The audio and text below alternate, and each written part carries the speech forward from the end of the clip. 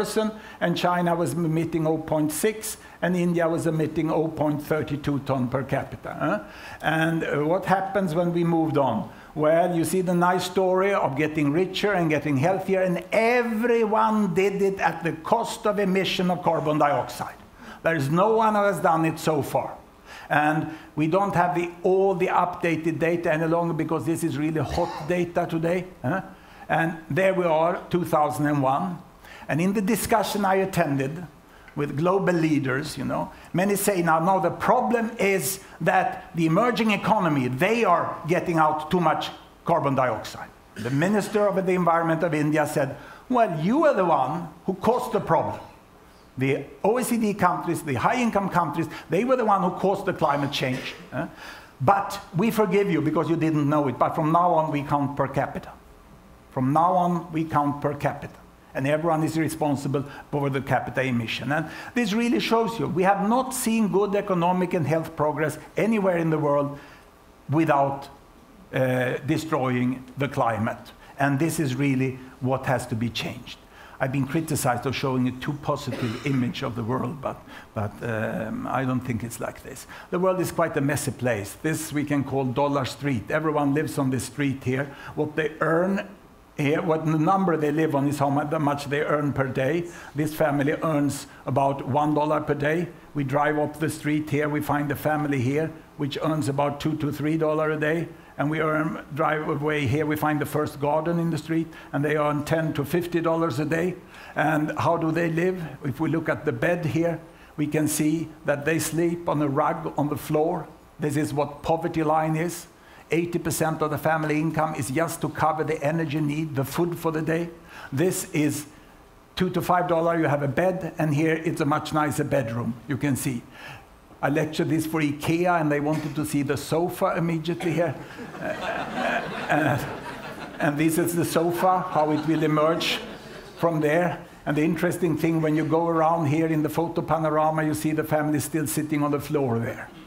And although there is a sofa, if you watch in the kitchen, you can see that the great difference for women does not come between one to ten dollar. It comes beyond here when you really can get good working condition in, in uh, the family. And if you really want to see the difference, you look at the toilet over here.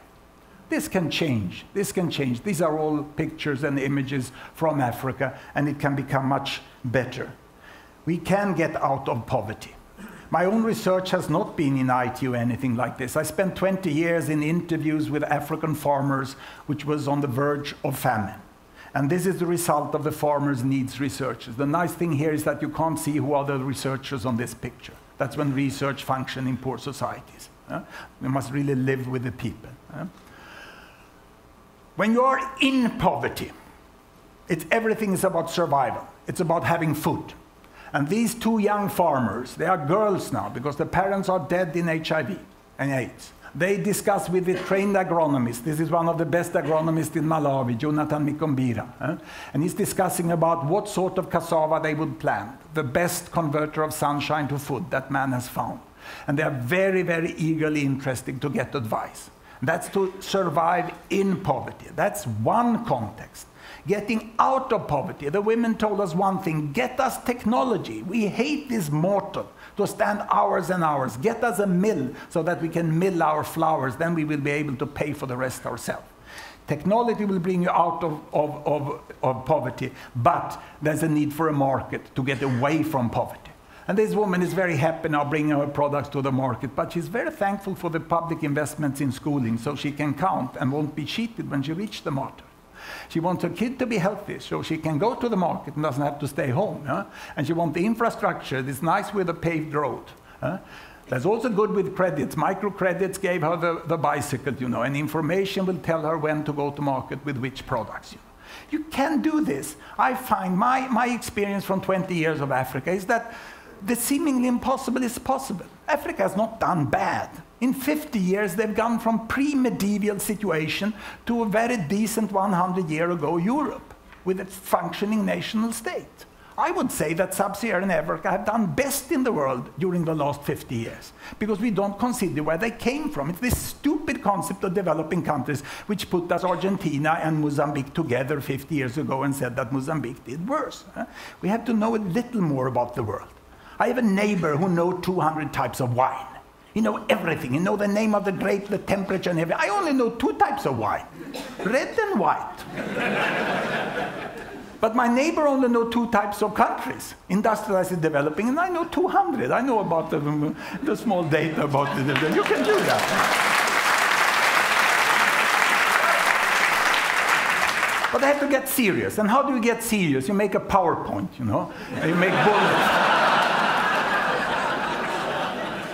Homage to the office package, no? Uh, what is this? What is this? What am I telling? I'm telling you that there are many dimensions of development. Everyone wants your pet thing. If you're in the corporate sector, you love microcredits. You know, if you're fighting in non-governmental organization, you love equity between gender. Or if you're a teacher, you love UNESCO and so on. In global level, we just want our own thing. We need everything. All these things are important for development, especially when you just get out of poverty and you should go towards welfare. Now, what we need to think about is what is a goal for development and what are the means for development. Let me first grade what are the most important means. Economic growth, to me, as a public health professor, is the most important thing for, uh, for development because it explains 80% of survival. Huh?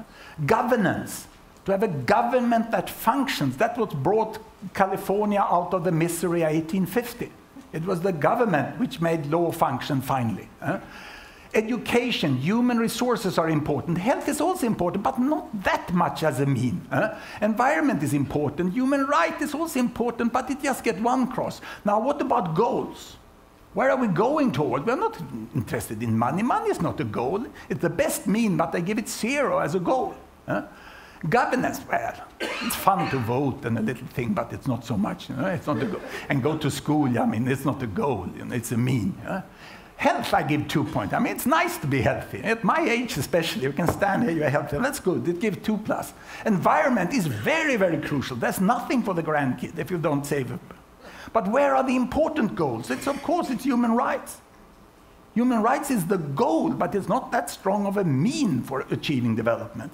And culture. Culture is the most important thing, I would say, huh? because that's what brings joy to life. That's the value of living. So the seemingly impossible is possible. Even African countries can achieve this. And I've, I've, I've shown you the chart that the seemingly impossible is possible. And, and, and remember, please remember my main message. That is this the seemingly impossible is possible. We can have a good world. I showed you the shots, I proved it in the PowerPoint, and I think I will convince you also by culture.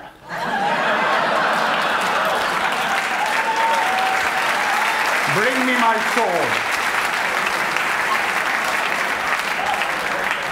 Sword swallowing is from ancient India. It's a cultural expression that for thousands of years has inspired human beings to think beyond the obvious. And I will now prove to you that the seemingly impossible is possible by taking this piece of steel, solid steel. This is the army bayonet from the Swedish army, 1850. In the last year we had war. You know? And it's all solid steel you can hear here. Huh? And I'm going to